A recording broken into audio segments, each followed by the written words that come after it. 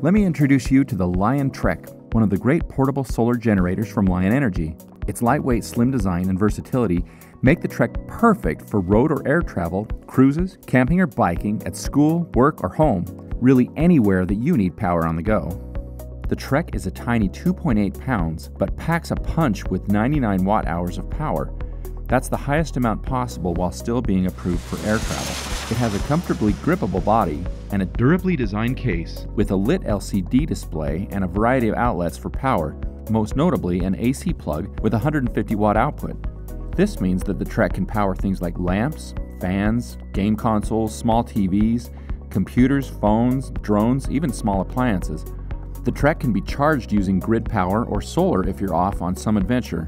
To charge, simply plug the USB A cable into a power source and the other end into the USB C in out port on the front panel. This will fully charge the Trek from empty to full in about an hour and a half. To charge with a solar panel, like the Lion 50 watt panel here, place the panel in direct sunlight, plug the barrel cord into the panel, and the other end into the input port on the side of the Trek. In direct sunlight, you can expect the Trek to charge in about 3 hours. To power up and use the Trek, press and hold the power button on the right side of the front panel. The blue ring around the button and the LCD display will light up, and this will also power the USB ports.